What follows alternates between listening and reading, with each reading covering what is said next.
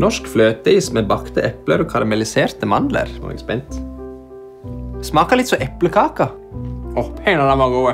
Ganske snaupen størrelse på den, egentlig. Hei, husker du da når vi var små og var på epleslang? Hva var det han het, den der galningen?